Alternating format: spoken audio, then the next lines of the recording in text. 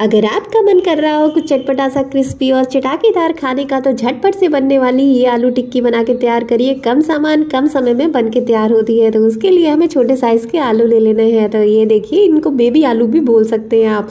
ऐसे उबाल करके आलू ले लेंगे और उसके बाद में घर का तवा ले लेंगे, वही लोहे वाला। उसको ऑयलिंग कर लेंगे। बहुत ज़्यादा ऑयल नहीं यूज़ करेंगे। आज हम कम तेल और कम मसाले में बना के तैयार करेंगे आलू टिक्की।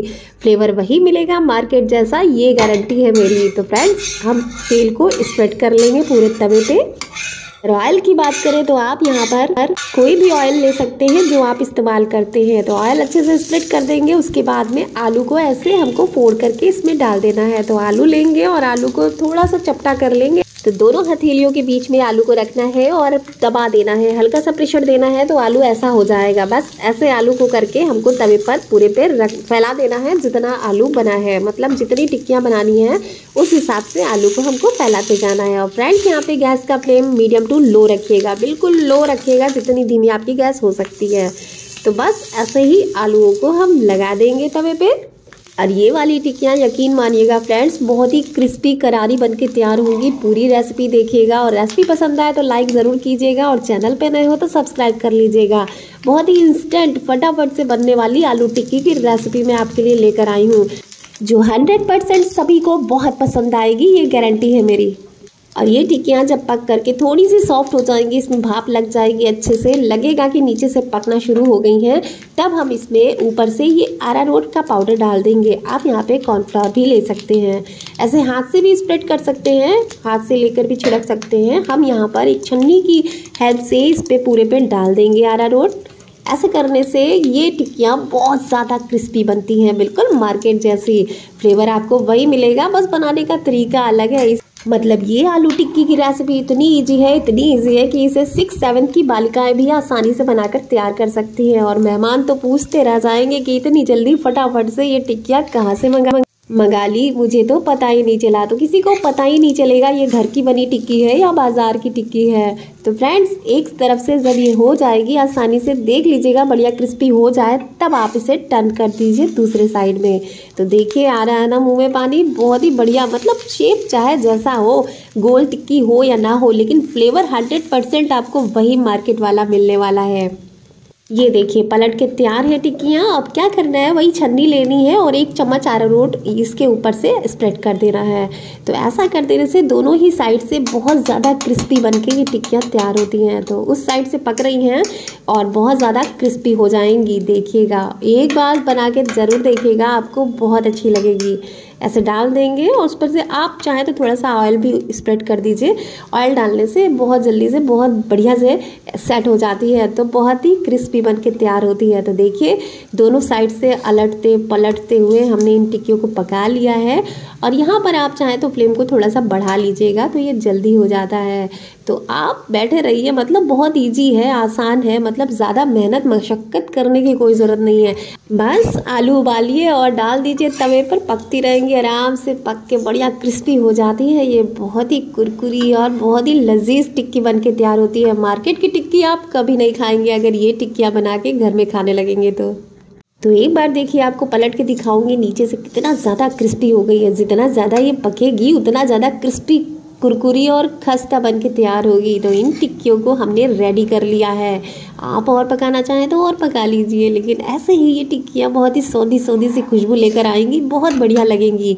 अब यहाँ पर मैंने इन्हें पकाने का प्रोसेस बंद कर दिया है। टिक्कियाँ हमारी पक करके रेडी है। आ रहा है ना मुँह में पानी? आइए इनको सर्व करने की तैयारी करते हैं। अब इन टिक्कियों को मैं दो तरीके से सर्व करके बताऊँगी। आपको देखते रहिएगा, बिल्कुल यूनिक तरीका है। तो एक प्लेट लेंगे और सारी टिक्कियों को ऐसे बिछा लेंगे। एक एक करके सभी टिक्कियों को लगा लेंगे इस प्लेट पे तो लगा लिया है मैंने प्लेट में। अब इनको एक साइड में रख देंगे। अब आपको जो डिज़ाइन पसंद हो फ्लावर पसंद हो फ्लावर लगा लीजिए, गोल बना लीजिए, चौकोर बना लीजिए। मैंने यहाँ पे हार्ड का शेप देने का प्रयास किया है। ये देखिए हार्ड का शेप देंगे इसको और रेडी कर लेंगे। तो यहाँ पे फ्रेंड्स मैंने सारी टिक्कियों को हार्ट का शेप दे दिया है। देखिए, बन गया है हार्ट का शेप अब भाई, इसे ऐसे ही थोड़ी खा लेना है, इसे देना है फ्लेवर तो वही मार्केट वाली सारी चीज़ें हम इसमें ऐड करेंगे और आप देखिएगा, देखने में जितनी अच्छी लगेगी, खाने में उससे कहीं ज़्यादा अच्छी लगेगी। तो छोटे छोटे टमाटर के पीस को काट करके इसके ऊपर लगा देंगे साइड साइड से। तो वो कहते हैं ना, खाने की थाली देख करके खाने की भूख बढ़ती है तो इस आलू टिक्की को हम ऐसा सजाएँगे कि खाने का मन यूँ ही होने लगेगा। मतलब जिसका पेट भरा होगा, उसका भी मन करेगा कि इसको खा के देखा जाए। तो फ्रेंड्स इसके साइड साइड में बारीक कट किया हुआ प्याज लगा देंगे। ये देखिए फ्रेंड्स प्याज को भी मैंने सेट कर दिया है और फ्रेंड्स इस टिक्की के लिए आपको कुछ भी बाहर से लाने की ज़रूरत नहीं है, बाज़ार से कोई भी एक भी सामान लाने की ज़रूरत नहीं है। सारा सामान आपके किचन में अवेलेबल रहता है क्योंकि डेली की खाने में हम इन चीज़ों का इस्तेमाल तो करते ही करते हैं। तो हरी धनिया लगा देंगे लास्ट में, उसके बाद हम टिक्की को देंगे फ्लेवर ये देखिए, शेप बन के है तैयार, बहुत ही बढ़िया लग रहा है। भाई, मुझे तो बहुत अच्छा लग रहा है। अगर आपको भी अच्छा लग रहा है तो कमेंट करके ज़रूर बताइएगा। अब भाई, इसमें सारी चीज़ें तो लग गई है। अब देना है इसे फ्लेवर। तो फ्लेवर के लिए हम मसाले और चटनियाँ डालेंगे इस पर तो कैसे डालनी है? ये इमली की मीठी चटनी है। इसकी रेसिपी मेरे चैनल पर मिल जाएगी और इसका लिंक मैं डिस्क्रिप्सन बॉक्स में डाल दूँगी। आप देख लीजिएगा। और अगर इसे ना बनाना चाहें तो इसे आप फटाफट से इंस्टेंट बना के तैयार कर सकते हैं। बस करना क्या है? दो चम्मच आमचूर पाउडर लेना है, चार चम्मच चीनी डाल दी है और एक चम्मच इसमें कश्मीरी लाल मिर्च डाल देनी है और हल्का सा इसको पका लेना है जब तक ये मेल्ट ना हो जाए। और उसके बाद में आपकी चटनी बन के रेडी है। जो फ्लेवर डालना चाहें उसमें डाल लीजिए। इसके बाद में हम इसमें दही डालना है। तो दही नॉर्मल दही है, ताज़ा है, लेकिन इस ताज़े दही को हमने फेट करके ले लिया है। आप इसमें थोड़ी सी चीनी मिला करके भी डाल सकते हैं इसको। तो मेरी चटनी ऑलरेडी मीठी है, इसलिए दही को मैंने ऐसे ही डाल दिया है। और इसके बाद ऊपर से डालेंगे हरी कटी हुई मिर्च।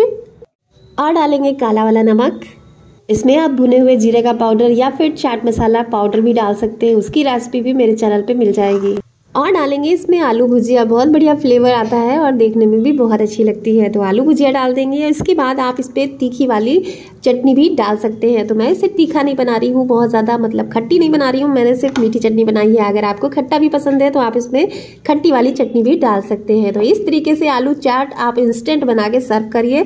जितने लोगों को देना है मतलब जितने लोगों को सर्व करना है, आप साइड साइड से निकालते जाइए और सर्व करते जाइए। तो इस तरीके से अपने टेस्ट के अकॉर्डिंग टिक्की को आप फ्लेवर दे सकते हैं। और इसी टिक्की को अलग अलग मतलब प्लेट में अलग अलग देना चाहें तो एक एक टिक्की को भी आप ऐसे बना के सर्व कर सकते हैं। तो एक साथ मैं दो टिक्कियाँ रख करके सर्व करके आपको दिखाऊँगी। तो दो टिक्की रखेंगे एक साथ और इस वाली प्लेट में भी रखेंगे। इसके बाद मैं आपको बताऊँगी कि कैसे इसको सर्व करना है और क्या क्या चीज़ें इसमें डाल करके आप और भी बढ़िया फ्लेवरफुल इसे बना सकते हैं। तो सबसे पहले आलू में डालेंगे चटनी तो मीठी वाली चटनी डालेंगे। अगर आपको खट्टा पसंद है तो आप यहाँ पर खट्टी वाली चटनी भी डाल सकते हैं। आमचूर पाउडर से खट्टी, मीठी दोनों प्रकार की चटनी इंस्टेंट आप बना के तैयार कर सकते हैं। इसके बाद जाएगा दही। और इसके बाद आपको सैलेड में जो पसंद हो, आप इस पर डाल लीजिए। मैंने डाला है ढेर सारा प्याज, क्योंकि इसका फ्लेवर चाट में बहुत अच्छा लगता है। आप यहाँ पर कसी हुई गाजर या कसी हुई मूली का इस्तेमाल भी कर सकते हैं। तो मैंने यहाँ पर मूली ली हुई है, कस करके। इसे भी डाल देंगे। टमाटर डालेंगे। थोड़ी सी हरी धनिया डालेंगे। काला नमक डालेंगे। भुने हुए जीरे का पाउडर डालेंगे। अब जाएगा इसमें चाट मसाला। इस चाट मसाले से टिक्की तो बहुत ज़्यादा फ्लेवरफुल हो जाती है तो इसकी रेसिपी भी मेरे चैनल पे आपको मिलेगी। अगर आपको देखना हो वीडियो तो मैं लिंक डिस्क्रिप्शन में डाल दूँगी, आप उससे भी देख लीजिएगा। तो इस चाट मसाले को किसी भी चीज़ के साथ आप खाइए, दही बड़े के साथ, छोले भटूरे के साथ मतलब छोले के साथ, मटर के साथ, या आलू चाट के साथ, सभी के साथ बहुत अच्छी लगती है। तो जब कर रहा हो कुछ चटपटा सा खाने का तो ये वाली रेसिपी तो बनाना बनता है फ्रेंड्स ज़रूर से बनाइएगा, याद करके बनाइएगा, और हमें बताइएगा कि ये रेसिपी आपको कैसी लगी। और रेसिपी अगर अच्छी लगी हो तो लाइक का बटन ज़रूर क्लिक करिएगा। कंजूसी ज़रा भी मत करिएगा। मैं फिर मिलूँगी आपको एक नए वीडियो में, एक नई रेसिपी के साथ में। तो ऐसी ही यूनिक और फैंटेस्टिक सी रेसिपी देखने के लिए हमारे चैनल को ज़रूर सब्सक्राइब कीजिएगा और आल के बटन को प्रेस कर दीजिएगा, जिससे कि आने वाला नया वीडियो का नोटिफिकेशन आपको मिल जाए। तो फ्रेंड्स मैं फिर मिलूँगी आपको एक नए वीडियो में एक नई रेसिपी के साथ में। तब तक के लिए अपना ध्यान रखिए, अपना ख्याल रखिए। Bye bye thanks for watching पूरा वीडियो देखने के लिए आपका बहुत बहुत शुक्रिया। Bye bye